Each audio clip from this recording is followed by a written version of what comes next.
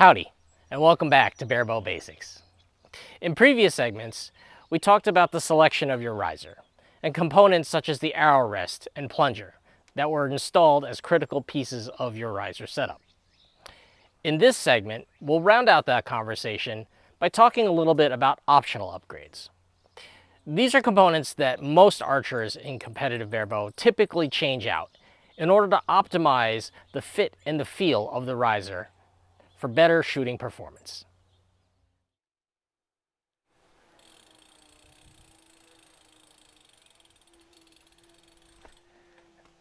If you talk to most archery coaches, you find that one of the main struggles that beginners and some intermediate archers have is placement of the bow hand on the grip. When those beginners go looking for advice, they typically find the same information being regurgitated. Make sure you use a finger sling or wrist sling. Make sure your bow hand is relaxed. Make sure you don't grab the bow. And while all of those facts are true, they don't always help the beginner understand how they need their bow hand to interact with the grip. I like to teach a simple analogy of the bicycle handlebars. If you think of the grip of your riser, like the handlebars of a bicycle, you start to understand that every push and pull of the grip can cause movement in the riser during the shot. Not only does pressure matter, but placement matters too. The further out towards the edge of the grips you press, the more of an effect on the riser during the shot. So not only do we have to pay attention to how we press, but where. We return to the target bale at 4 yards, borrowing my wife's setup for a series of final demonstration shots. On the left is a well-composed shot, where I carefully place my bow hand into the grip to ensure my pressure point is centered and on plane with the tune of this bow.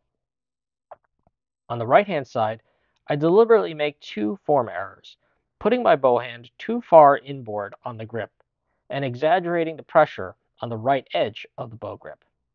I'll play the clip at one quarter speed so you can see the results.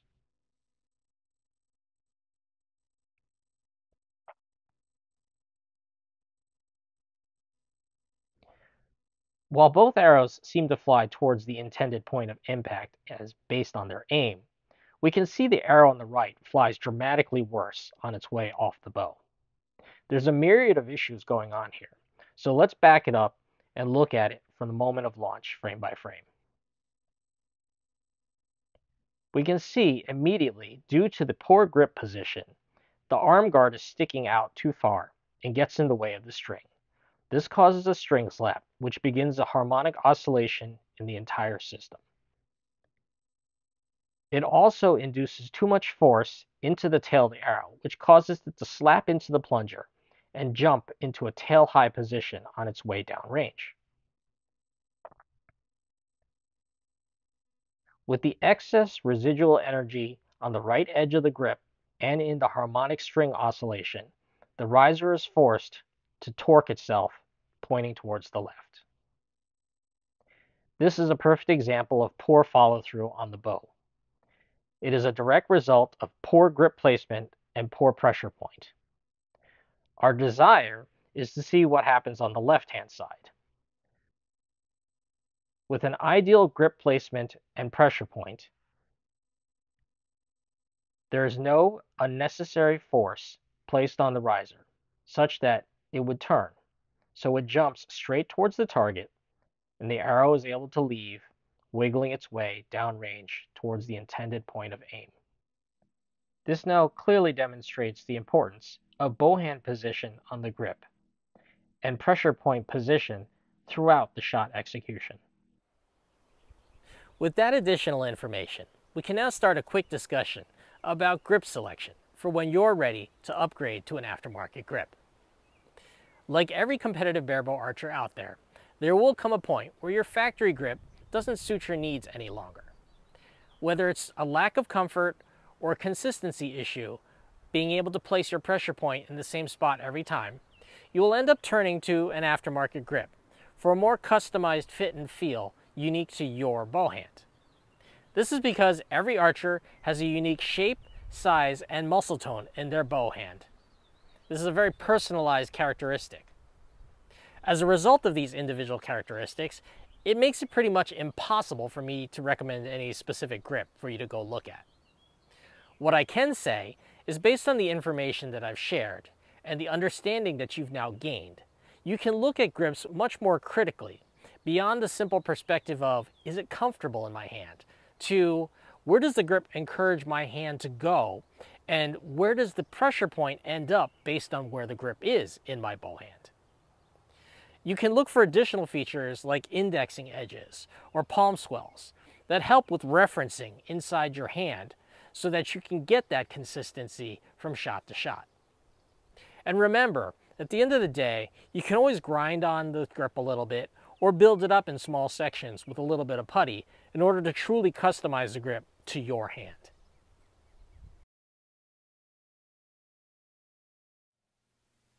The last component of your riser that affects the feel of the shot during execution is the weight. Once known as counterbalances or stabilization weights, today's modern weights have essentially gone from being an optional component to pretty much standard equipment on every single competitive barebow setup right out of the gate. And while there's not an awful lot we can talk about for a hunk of metal that bolts to your bow, there are a few key points I want to emphasize as I feel it's important for beginners to fully grasp them. Weights serve two critical functions on your bow. The first, obviously, is to add mass. The laws of inertia indicate that a heavier object resists changes in position more easily. Therefore, by adding mass to our bow, when we're at full draw, our riser won't want to move as much. This helps reduce what we call our aiming float. Now, there is a point of diminishing returns. We can't just keep adding weight onto the bow forever, because while our float may get smaller, the amount of weight can may become difficult for our bow arm to keep up. What ends up happening is the bow begins to drop during aiming, which results in something we call a drive-by shot. Drive-by shots are dangerous because they can and often do break your shooting process down the road so it's absolutely something to be avoided if at all possible. The second major function of the weight is to change the center of gravity. If you'll recall in a previous segment, I didn't really recommend integrated weights that are made by manufacturers. While they're cool and they're fun to look at, they often don't actually change the center of gravity by that much because they're bolted to a lower portion of the riser by not changing the center of gravity, all they really accomplish is adding mass. Our goal is to do both with our weight. So a standard cylinder bolted into the front stabilizer bushing hole generally actually has better leverage for affecting the center of gravity compared to those integrated weights. It's closer directly to the pivot point of the grip, which is where the throat of your hand goes, and allows it with more effect to change the balance of the riser. Now, today's modern weights actually have a new feature called an offset. An offset gives you a third dimension of adjustability rather than just forward back to tip. You can actually offset the weight to one side as necessary. This allows you to change the balance of center of gravity out to one side or the other of the riser for necessary adjustments and tuning. It's a neat feature to have. Now, typically, the last question people will ask is, how much weight do I need? And normally, this is a trial and error process. However, I can tell you from personal experience, most beginner students fare well with a weight that's between 8 and 11 ounces. This is an 11 ounce cylinder, so it gives you a good idea of the size that you should be looking for. The only time I would go up from this is if a student with greater stature in their upper body, a lot of deltoid and shoulder muscles. They may be able to support a slightly heavier bow. That's where something like maybe a 15 ounce weight would be suggested and acceptable. But that's a rare case. Most archers do just fine with an 8 to an 11 ounce weight. This offers the necessary center of gravity modification out front to help the bow tip forward naturally during the shot or stay upright. and dampen the aiming float enough so that the bow doesn't feel jittery during aiming. To wrap up this segment, I want to respond to some of the inquiries I've had regarding the shirt that I was wearing in the previous segment. Originally, I made some of these designs just so that I would have something to wear while filming these informational videos. Over time, I realized that others may actually want them as well, because they're enjoying the information that I'm sharing and they want others to know about it also.